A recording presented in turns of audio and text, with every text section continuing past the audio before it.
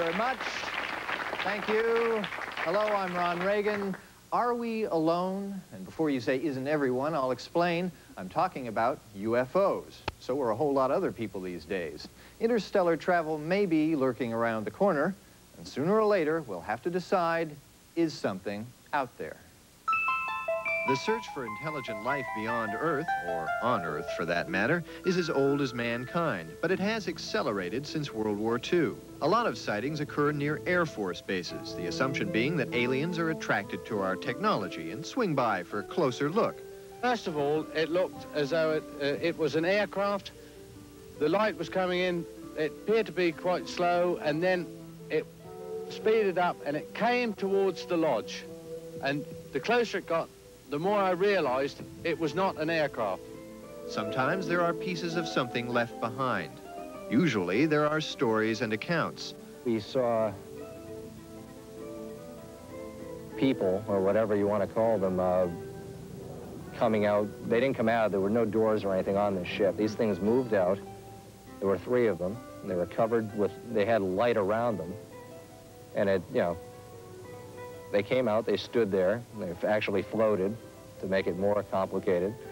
Uh, beings. And beings, exactly. And always there are skeptics and debunkers. But if you didn't know it was a lighthouse, if you thought it was something small, maybe two, three meters across, pulsing about and pulsing white in the forest, yes, it looks as if it's within the trees, and it does appear to light up the trees as well. Another consistent factor, things never get resolved with any finality. When they've been telling the public for 30 years there's no such thing as UFOs, how can they reverse themselves now and say there is and they've been lying and covering it up? At least not for us, the public, who depend on our governments to share the results of their investigations.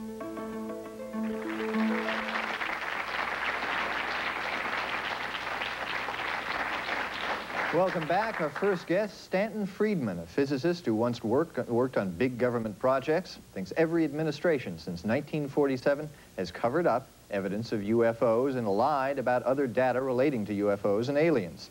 Philip Klass disagrees. He's a former editor of Aviation Week and Space Technology. He would have put a UFO on the magazine's cover if he'd ever found one. Thank you for coming. Appreciate your being here. Welcome to the show.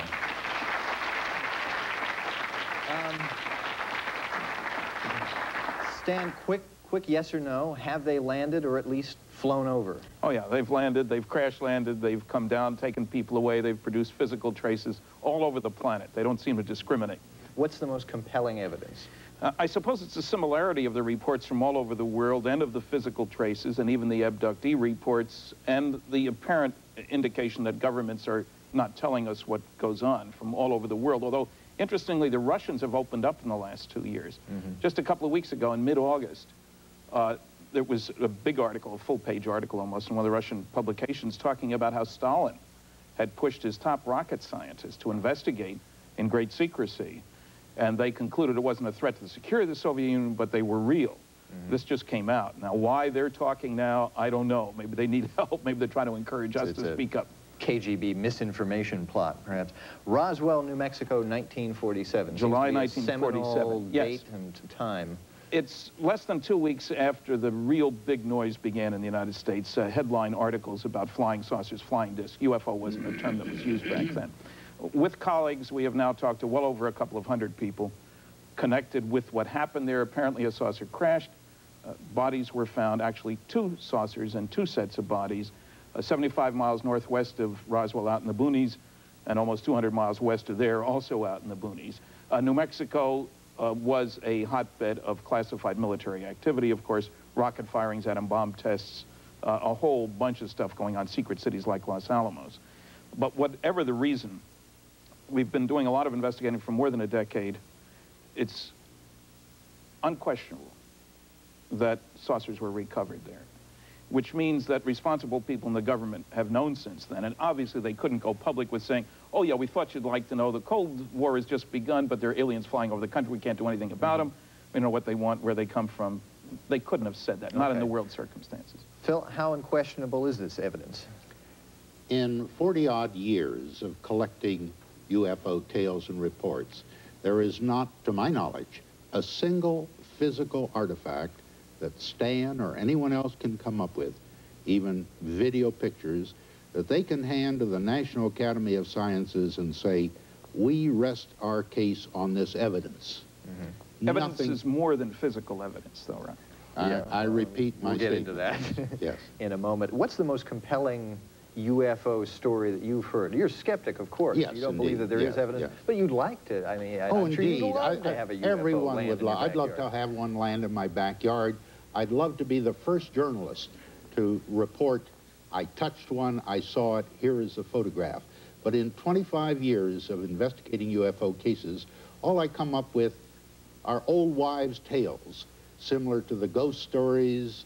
Uh, 200 years ago, women in Europe claimed they were knows that abducted. isn't true. Two, two saucers land in New Mexico. They got Crashed bodies. in New Mexico, Where are those bodies? All right. We don't know. Some of them went to right field where they went. What, what we're dealing with here, you have to understand that we're not dealing with an open world in which, you know, I go to the government and say, hey, fellas, give me all the data on Roswell.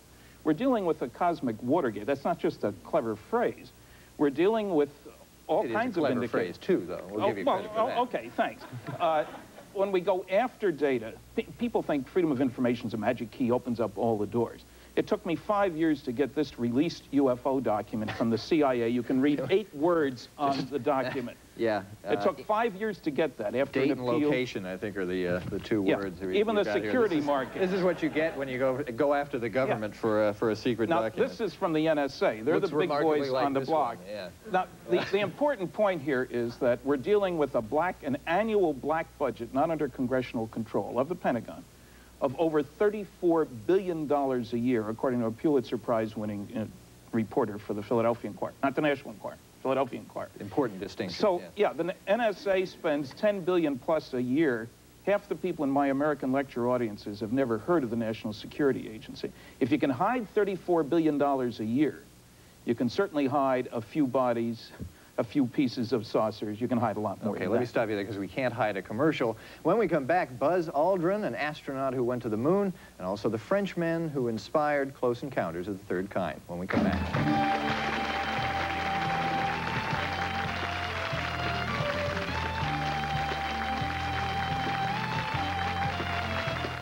I think there's a meteor pack bearing on us.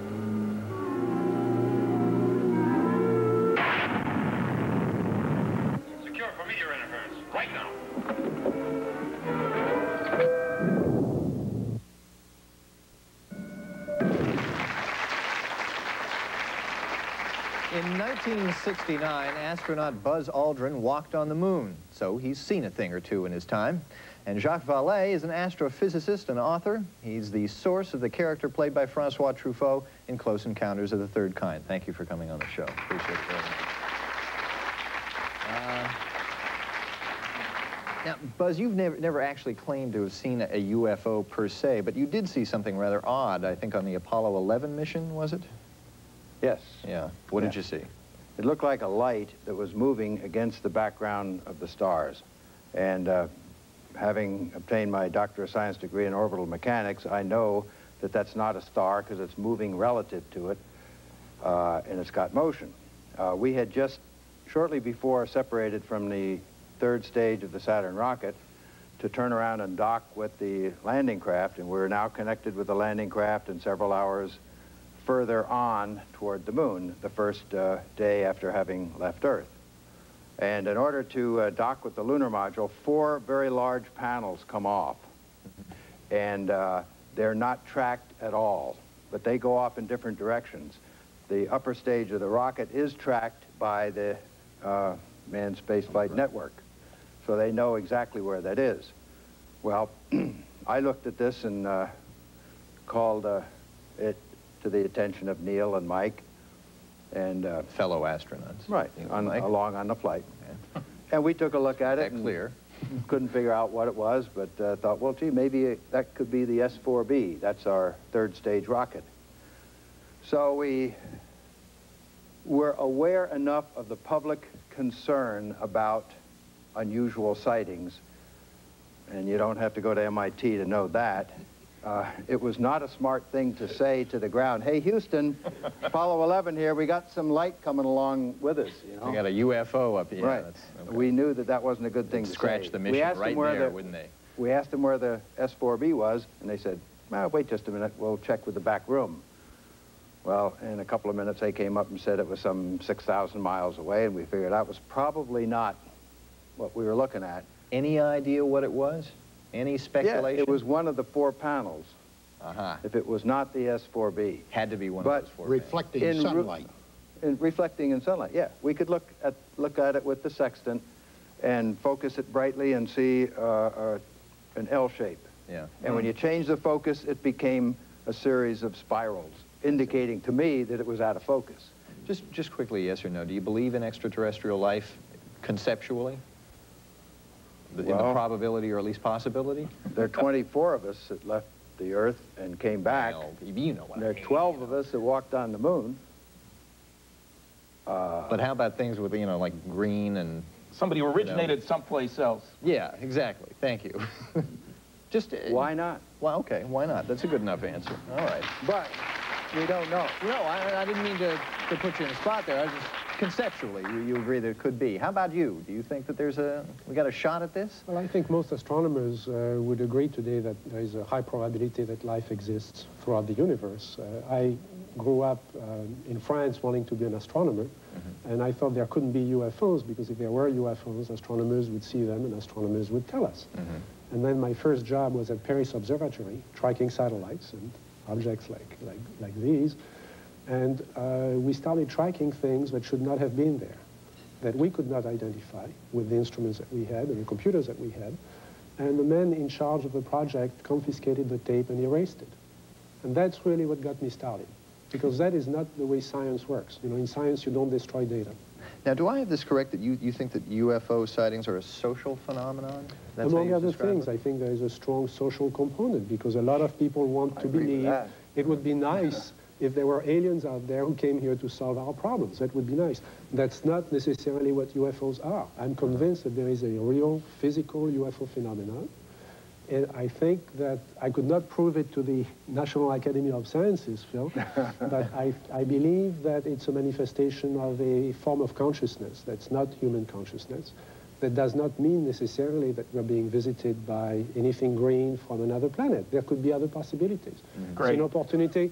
It's an opportunity to do some good science. That's what science is all about. Okay, and that's what this issue is really about, is, is, is about science and, and scientific Yes. proof. Next, wait a minute. Not next, next, we'll meet a true believer in UFOs when we come back.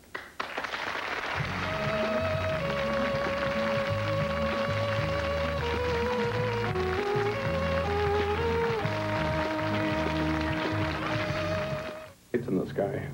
We saw flying objects containing maybe other people or another life form.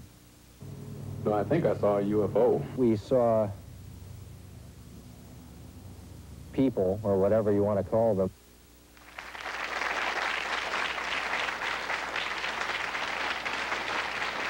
Joining us now is Bill Maxwell, the publisher of the Journal of UFO Facts. Bill has never seen a UFO nor been contacted by aliens or extraterrestrials, but he passionately believes they exist. Why is that?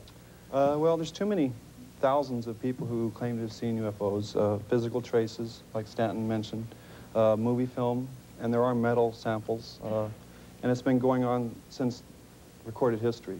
Yeah. So these things all lead me to believe that we are being contacted on a day-to-day basis by extraterrestrial civilizations not from this planet. Uh-huh. With all due respect, lots of people have seen the Loch Ness Monster, lots of people have seen Bigfoot, lots of people have seen Christ in a spaghetti billboard advertisement.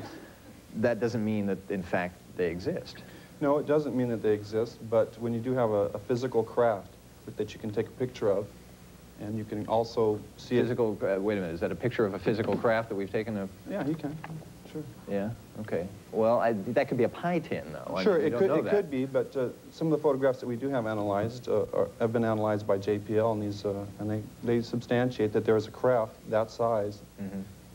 that far away from the camera, and that high in the sky. So it'd be hard, it'd be hard pressed to put a, a 25 foot, you know, diameter Hubcap. craft, yeah, hubcap in the sky and take a picture of it. I know some like MIT students who could, who could probably manage that, though.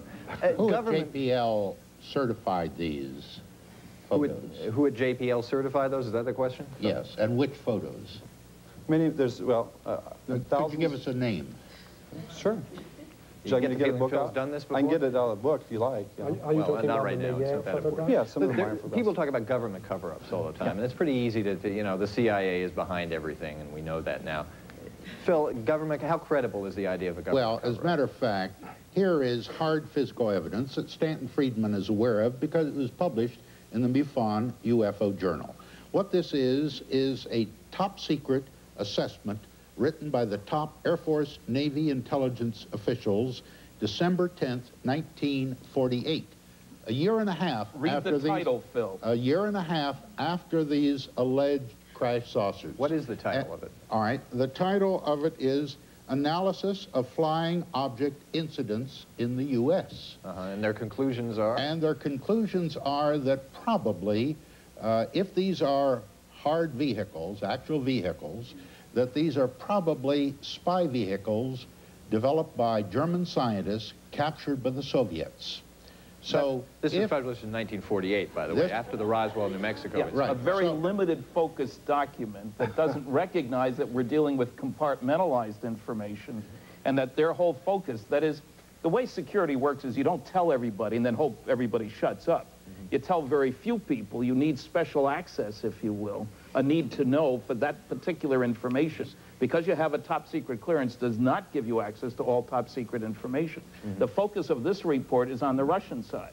That doesn't mean that there weren't other reports. it's, it's an analysis of what are UFOs. They say we're getting all these reports, we don't know what they are, and so we That's, think that, that's an analysis from 1947. Right after 48, Right, so what's, what's happening between 1947 and now? but the point is that if there and were crashed and thousands UFOs at Roswell, somebody forgot to tell the top Air Force and All right, Navy but the intelligence. But now, if there was, if there was a government groups working on the conspiracy, same if there was a government conspiracy, wouldn't they publish something like this to cover cover up the facts?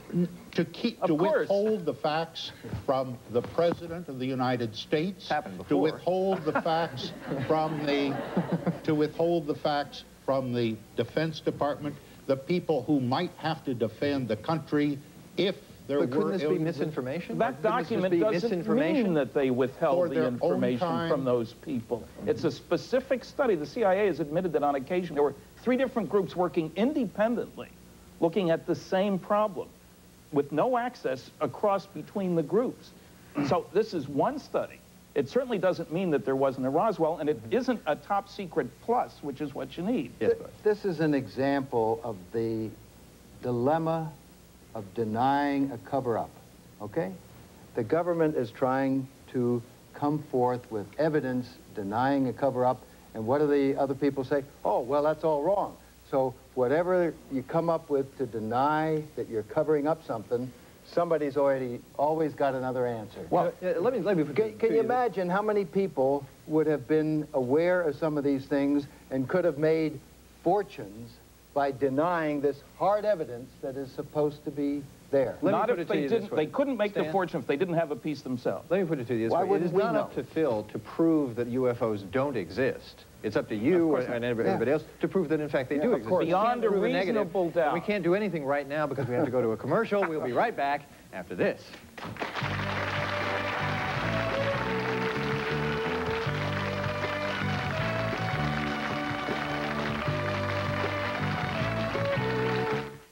Film, he said, this is a, and we actually have this picture of the UFO here, and uh, he, he got off the Jeep, went to the aircraft, handed the film to the pilot, the canopy closed, and the aircraft took off.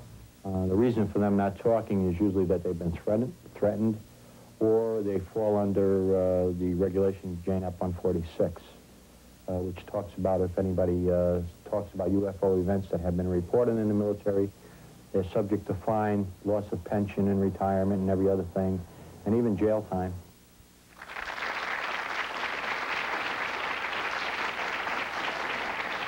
We are back exploring the outer limits with our guests, Philip Klass, Jacques Vallée, Bill Maxwell, Buzz Aldrin, and Stanton Friedman. Jacques, what do you think? Government cover-up, CIA plot? I think the big secret in Washington may be that the government has no idea what those things are. there is a lot of data. The government has a lot of data. That does not mean that they have information. I think it's a crime that that data is not released to the scientific community. I think that would you would have a much higher level of debate. if that Why, helps. why wouldn't they release it? Actually, the uh, uh, uh, Colonel Bob Dean, who is a 27-year uh, veteran of the Army, worked on uh, SHAPE NATO command post. They, he came across a, study that was done in 1961 called the assessment. And it was released to 18 different NATO members at the time. And the assessment concluded that there were, at that time, four extraterrestrial civilizations visiting our Earth Four. at that time. In 1964, when he retired in 1976 1976, his friends and the NSA and the CIA concluded that there were over 100 extraterrestrial civilizations visiting our Earth on a continuing basis.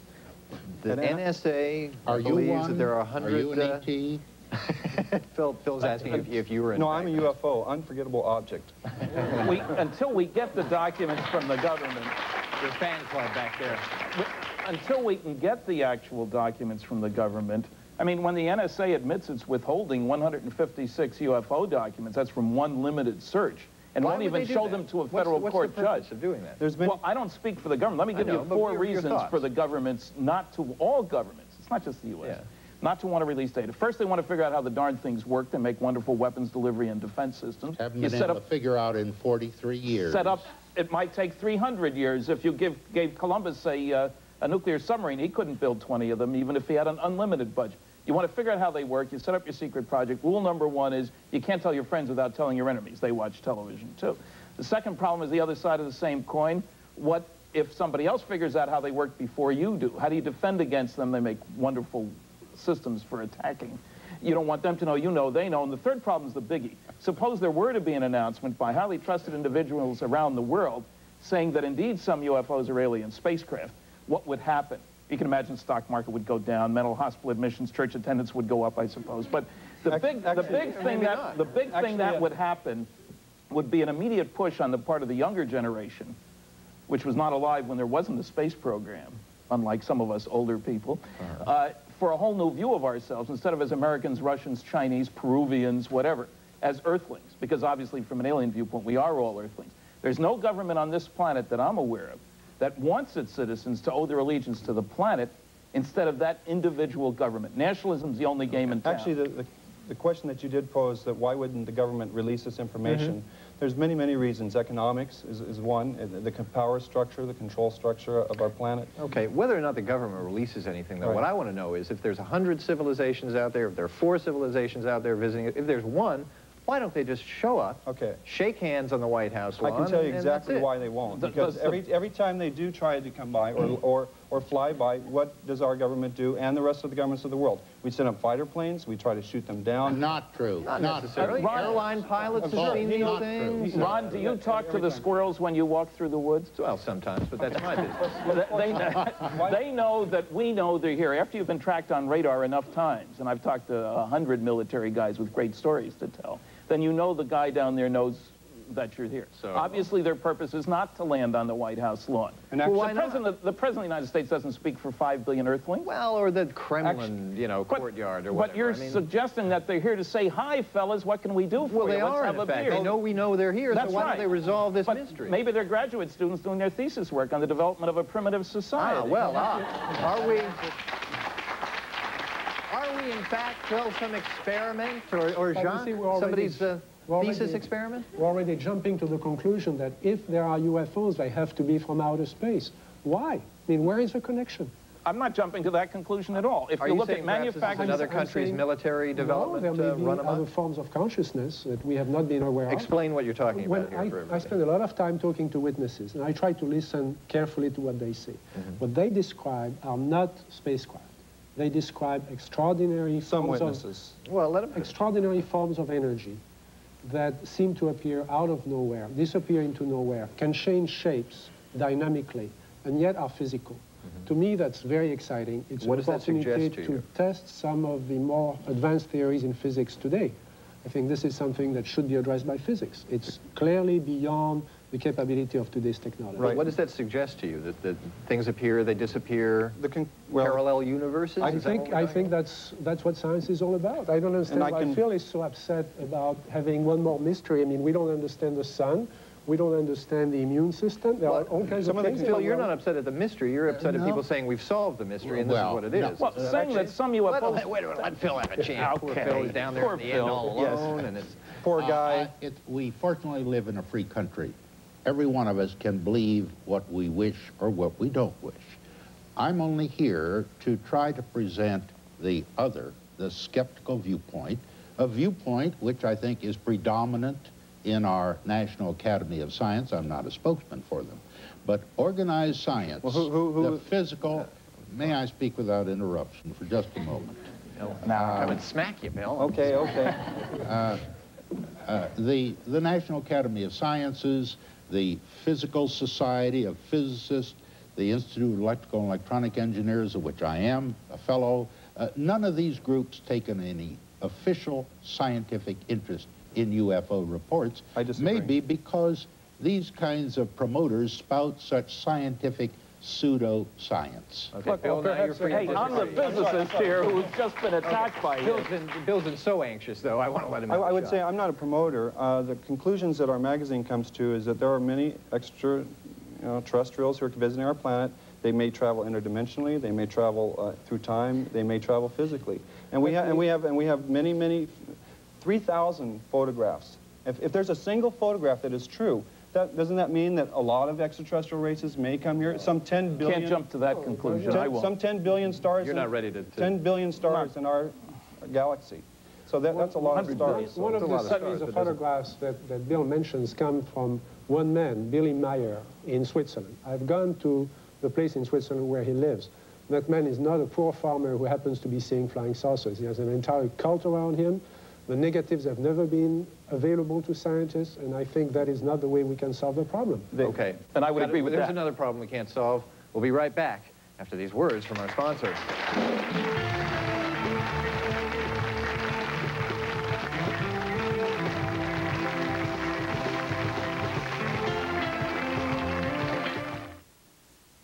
a red or reddish orange color, but it had other colors moving around in it.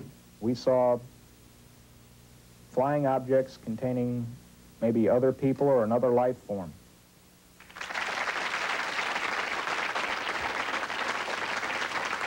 We're back. The subject is UFOs. Um, Buzz, now you, you would like to see NASA get more money and space exploration really take off. Is one way to do that to encourage people's belief in extraterrestrials? Give us something, a carrot out there dangled in space for us to go after?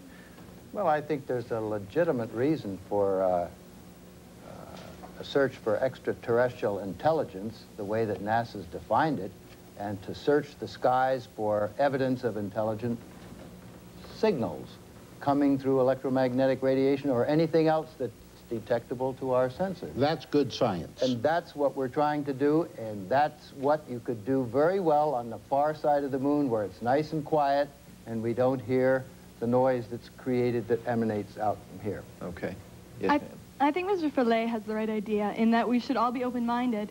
I mean, that's what science is all about, hypothesizing and then finding the experiments and making the conclusions.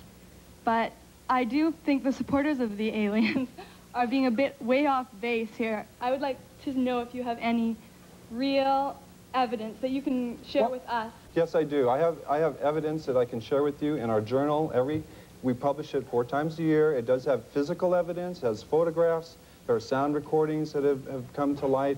We just had a case come to light with a... Is there any case that is is international almost, well known, really? Loads of cases can- from all over the world. The problem is most people aren't aware of the data. Look, uh, when you, there are five large-scale scientific studies.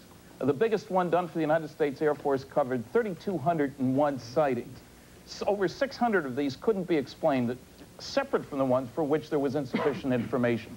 Quality evaluation says the better the quality, the more likely to be an unknown.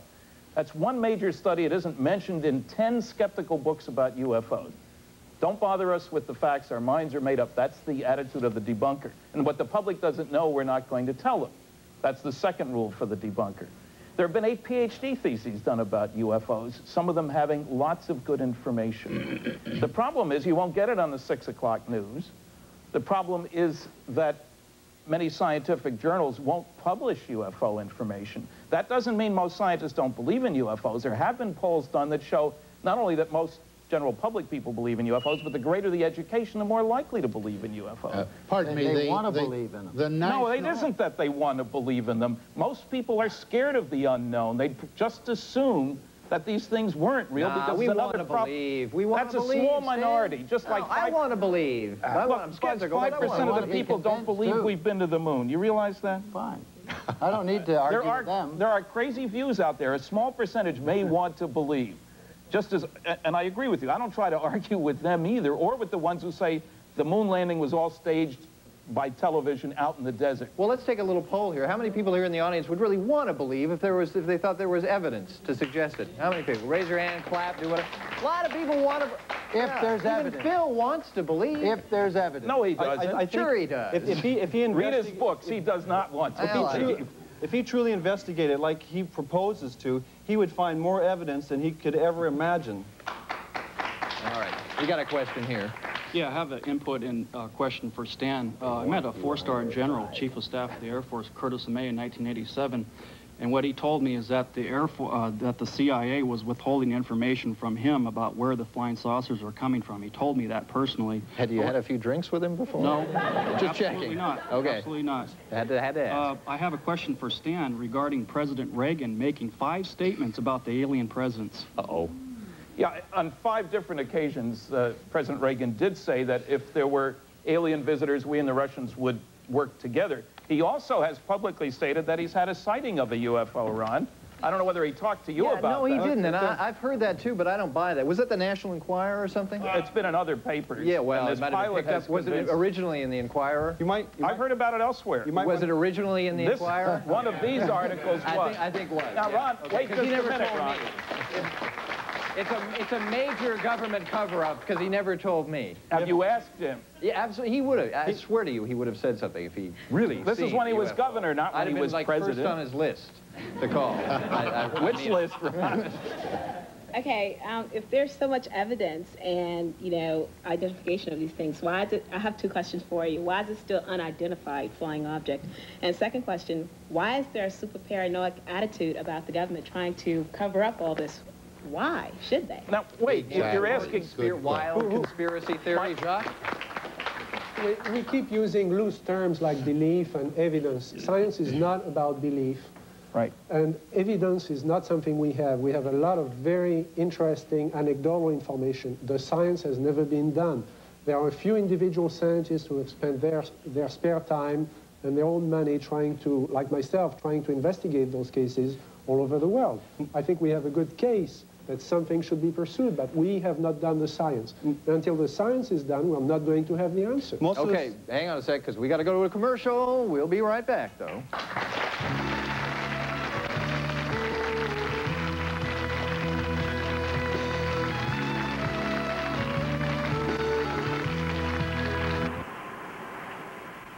Someone, something here knows the answer. I may have the answer. Let's have a look.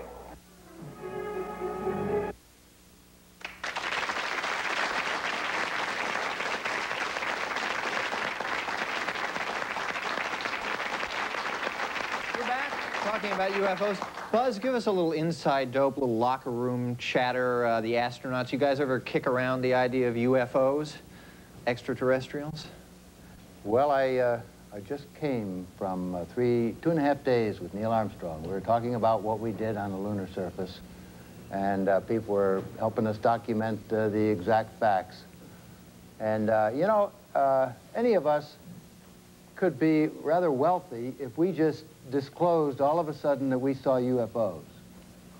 But we don't do that because we're credible people.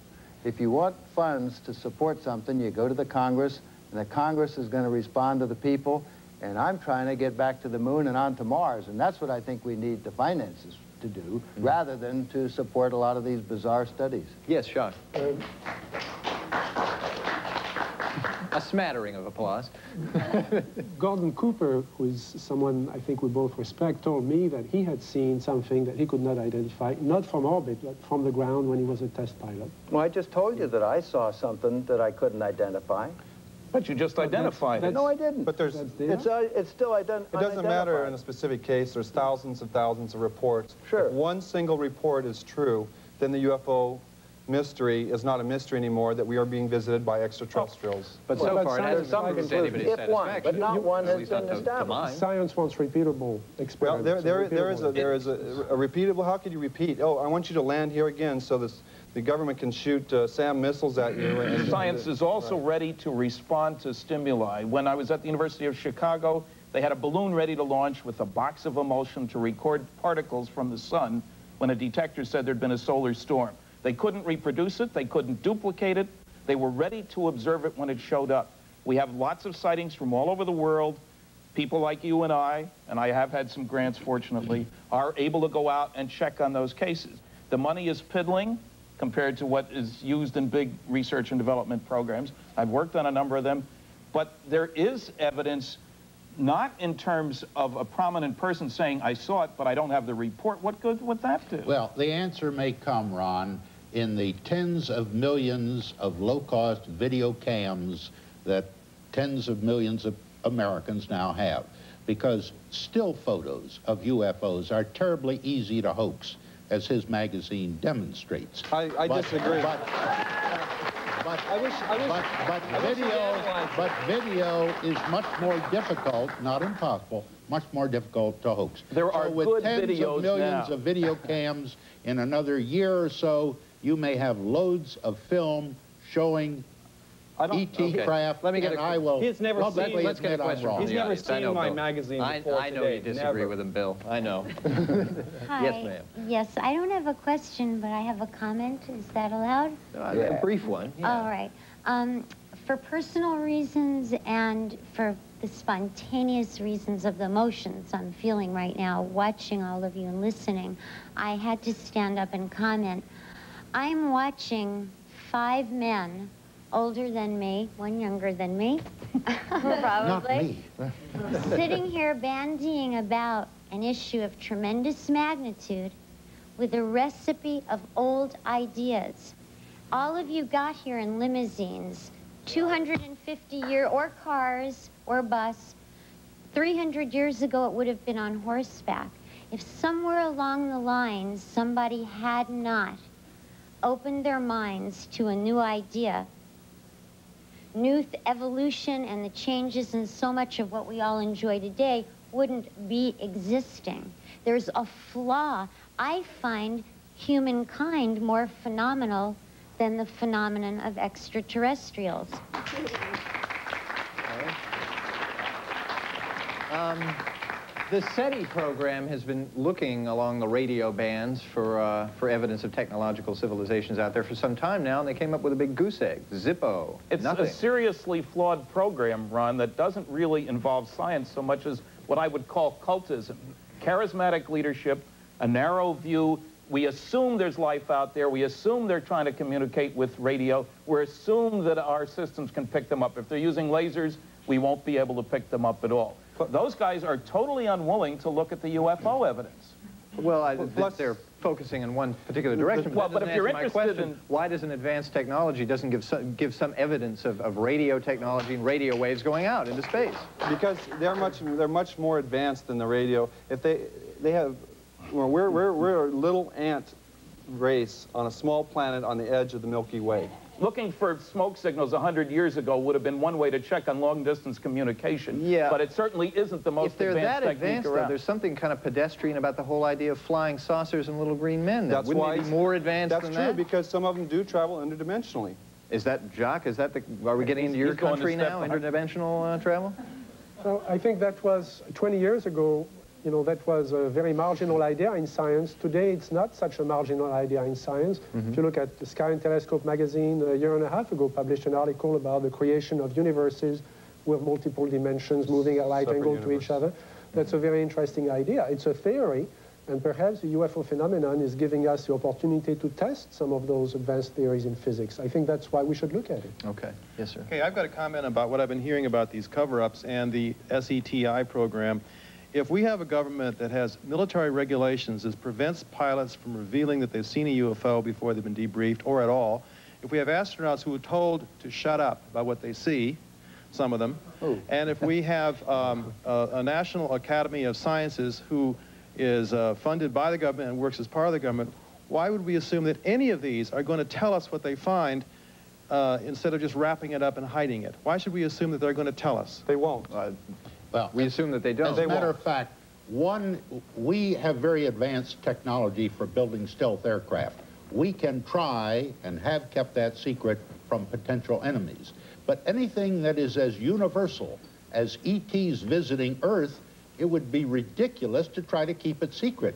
If there were a secret crash saucer recovered from New Mexico, why keep it secret and have one land or crash in Moscow or Paris Maybe or one has, London Phil. And They- let them beat us to the punch by saying, hey, the first ET craft chose Mother Russia to land They can't, uh, rather than They the- want to use the technology first. That's what matters here is technology. You know that. You covered the technology beat for 40 years. Take another like question. that. Hey, Phil Klass, your time has come to an end. Why don't you retire and go fishing? We're in a new area. The UFOs are here. and They're going to stay here. They're not going away. Go fishing.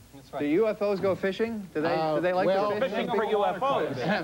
Uh, I, I'm not a fisherman. I try to go sailing and downhill skiing with the, my wife as much as my aviation Well, we get one thing he doesn't schedule. do, Ron, we talked about the crash saucer. My colleagues and I have talked to well over 200 witnesses involved in that case and been down in New Mexico many times. Phil has talked to none of those witnesses. Wrong. you Phil- have? Phil You- you hadn't as of two weeks ago. All right. Uh, Three no, weeks ago, I whatever had the time communicated with one long ago, but there were three people who allegedly were first-hand witnesses. Mac Brazel, the rancher who found the debris, Major Jesse Marcel, who went out to his ranch, and a man named Sheridan Cavitt. There are two of those three, Marcel and Brazel, are dead. Cavitt is still living. Have you talked to Cavitt? Yes. What did he say? Did he? And I've talked to, Mar- been in Marcel's house, and Oh, I've talked to Cavitt is living today. Yeah, And he was a counterintelligence This is getting corps guy. obscure here. Yeah. Uh, he, and he Who knows? denies. He have He's it? done We no don't know. investigation of the case. That's what it No, boils all right, down well, he to. He disagrees. denies Hang on a the sec. the crash saucer. We're case. running out of time here. We obviously we've resolved this whole question of Yeah, UFOs. right. Naturally. And we'll be back right after this.